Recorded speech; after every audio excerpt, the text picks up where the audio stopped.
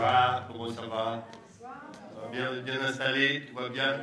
Il faut que je regarde, 2h05, vous me direz quand ça fait 12 minutes. hein. Je vais vous raconter une histoire. Et comme c'est moi qui dois commencer le marathon, je me suis dit, tiens, il faudrait que je me questionne sur pourquoi raconter des histoires. Et tant qu'à ouvrir les portes de notre monde, je vais vous raconter l'histoire d'un homme qui voulait mourir. Oui, suis conscient que ça peut plomber un peu l'ambiance du truc. Après, il y a les autres qui récupèrent, quoi. Alors, l'homme voulait mourir. Alors, moi, je sais pourquoi, l'histoire aussi, mais je n'ai que 12 minutes. Donc, on va passer là-dessus. L'homme voulait mourir et il a décidé de faire comme on le faisait au temps de cette histoire. Il l'a fait bien. Voilà. Il a rangé le bois autour de sa maison, il a mis de l'ordre dans ses papiers, mis ses beaux habits du dimanche, et il est allé se placer là, sur le banc de pierre, devant sa porte. Et là, l'homme a attendu la mort.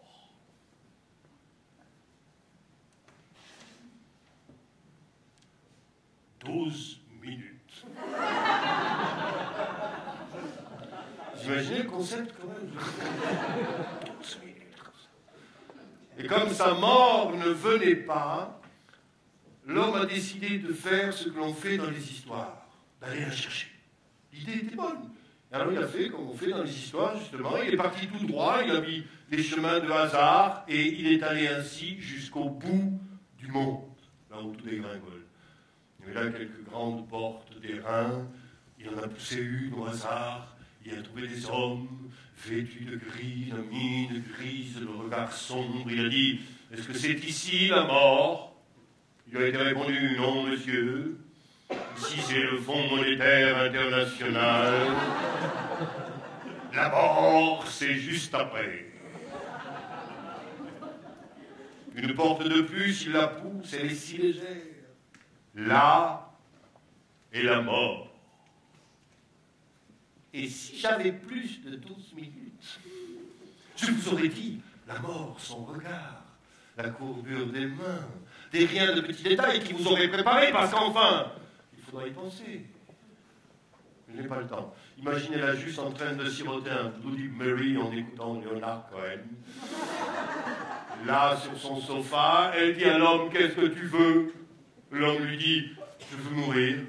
Je suis venu te chercher. Oh! Ah ben voilà, dit la mort. Ah ben voilà, maintenant ils viennent me chercher à la maison.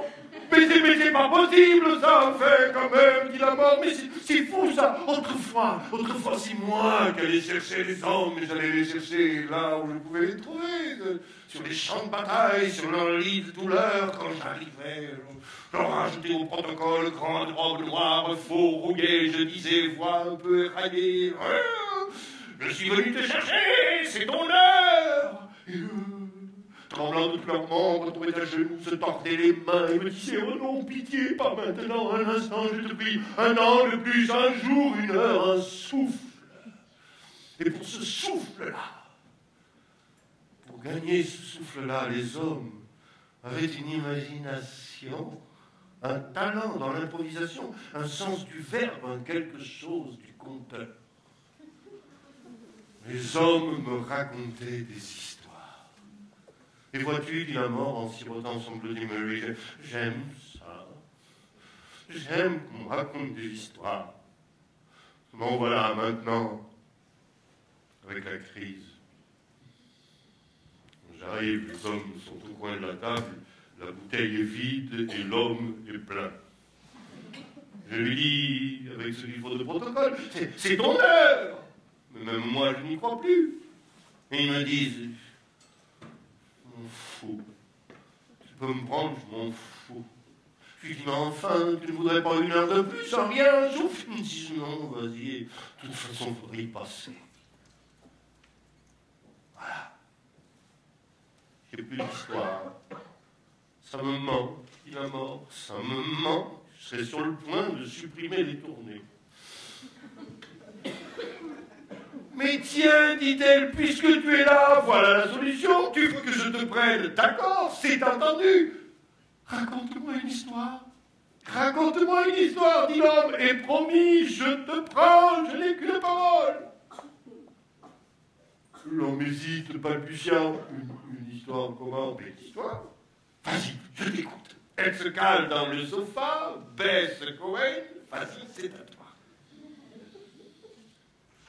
Hésite, regrette dans son fort intérieur d'être allé voir le match de hockey plutôt que d'être allé au festival de contes. Soupèse encore un instant, tente un démarrage audacieux. Il était une fois le reste est plus confus, il s'en mêle, les mots ne viennent pas, les idées trébuchent, les concepts s'en mêlent, il tombe plusieurs fois au bout de chaque phrase, la mort regarde ses courriels, baille longuement et finit par lui dire Ça, c'est pas une histoire, je peux pas te prendre pour ça quand même. Enfin, dit l'homme, je veux mourir. Oui, ça j'ai compris, mais non. Je veux mon histoire. Écoute, rentre chez toi. Trouve une histoire. Travaille là, donne-toi du mal, fais un stage. Et ensuite, un an et un jour, je viens te chercher chez toi. Tu me racontes l'histoire, mais je te prends et tout le monde est content. L'homme n'avait pas le choix. Il est reparti. Et il est allé chercher des histoires là où on en trouve. Là où se trouvent ses frères humains sur les places des marchés, sur, euh, les tavernes, au grand soleil du monde où se blottissent les vieux, dans les festivals de contes. Ils sont si nombreux. Et à chaque histoire, à chaque histoire entendue, ça a été comme un peu du miel de vivre qui s'est mis à recouler dans ses veines. Et au bout d'un an, vous le savez, n'est-ce pas il ne voulait que vivre. Je suis là, dit la mort Je viens mon histoire Elle se frotte les mains, s'installe dans le fauteuil. Vas-y, j'écoute eh, dit l'homme. C'est que je veux vivre, moi, à présent. Il tremblait de tous ses membres, il se tordait les mains. Je t'en prie. Encore un an, un jour, un souffle, rien. Oh C'est le bon vieux temps qui revient. Oh, parfait, moi je veux mon histoire. Alors vas-y, l'homme, comme autrefois. Raconte. Dis-moi pourquoi tu veux vivre.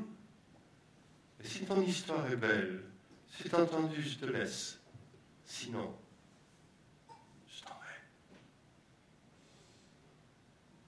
Alors l'homme racontait. Et racontait encore. Et ce doit être pour ça qu'encore aujourd'hui, ici, ailleurs, toujours, l'homme raconte pour échapper